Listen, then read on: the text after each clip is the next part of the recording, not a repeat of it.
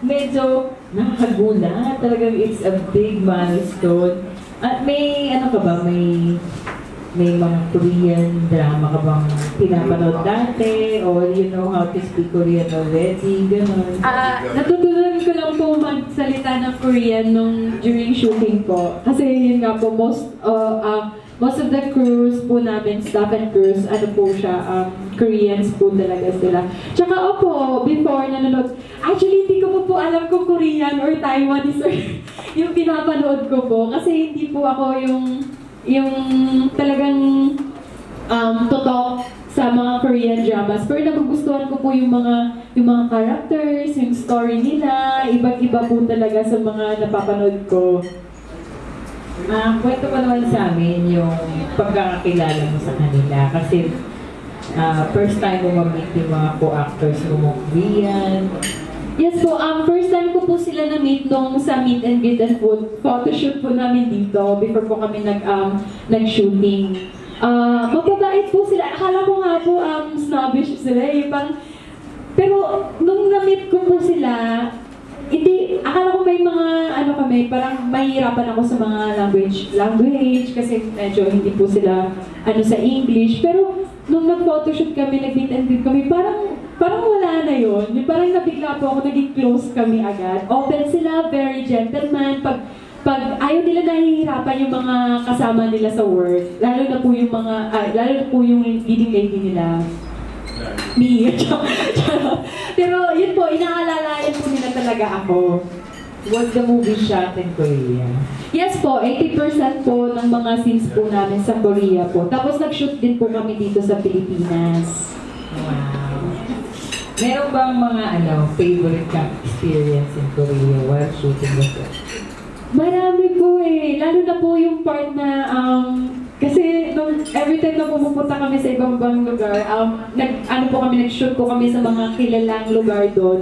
Like Banpo Park, um, Nansan Park. Parang lagi akong, parang akong bata na binigyan ng candy. Yun po yung favorite part ko kasi parang napapawaw ako sa place, sobrang ganda, tsaka memorable po yung mga nangyayari, mga scenes po namin na ginagawa doon. Pero napanood mo na rin yung mga co-stars mo before you shot the film? Um, konti po. Kasi, um, naano lang po sa akin, nung nalaman ko lang, ay, nung nalaman ko lang po na sila na yung partner, ma magiging co-stars ko po. Pero before po, hindi pa po ako nakakapanood sa kanila. Kasi, hindi po ako masyado into, um, yung laging nanonood ng K-drama. So the movie is uh, um, Korean production or more Filipino?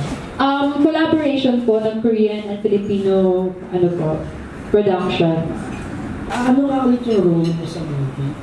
Um, ako po dito si Kim Soriano. Um, galing po siyang um, sa isang mayamang pamilya, ano, very obedient po siya and very strong woman. Pero dahil sa ano po, yung family niya and yung mga tao sa paligid niya very strict sa kanya. Kahit, kahit ano na siya, um, kahit uh, tumatanda na siya, parang gusto niya magka-experience, gusto niya maging independent. Yun po, very, very strong independent woman siya. Pero gusto niya din gawin sa parang um, tumayo sa sarili niyang paa. Kaya doon po yung nag-start yung journey niya, lumipad siya sa Korea. Pero dito sa movie, parang uh, successful tuman ka. Kasi kadalasan ng mga ganito, yung Pilipino ang nag-ahabol sa Koreano. Yes po, ah yung character ko po actually successful woman talaga siya.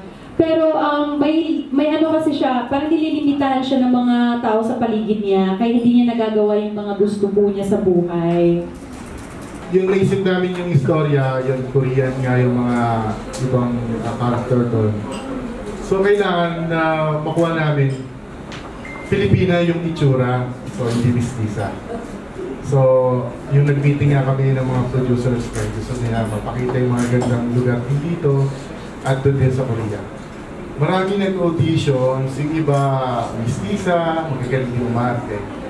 Pero nung pumasok si Devon, tinatanong ko nga si Shine, sino nga ba yung ano, yung sa my phone? Sino nga ba yung lagi tinatanong?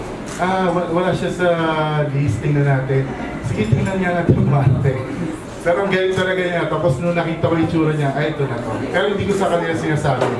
Although may mga bet na rin sila yun, yung producer, yung ah, writer. Nasa isip ko na kung sino.